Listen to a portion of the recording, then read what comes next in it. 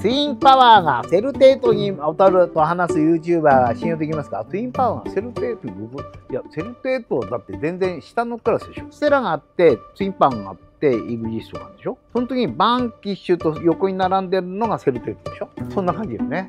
ツインパワーの予約状況はスタレステラと比べて10分の1です。ステラはもうこのこの時時点で1000台を軽く超えて2000台ぐらいに行ってました。